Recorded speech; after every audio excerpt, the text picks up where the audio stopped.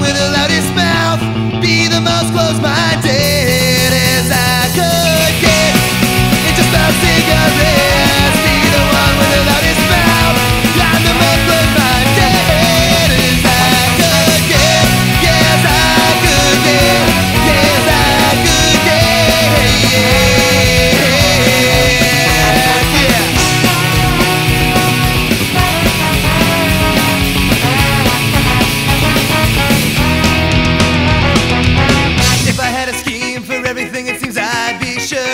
I could change it all, it all, it all.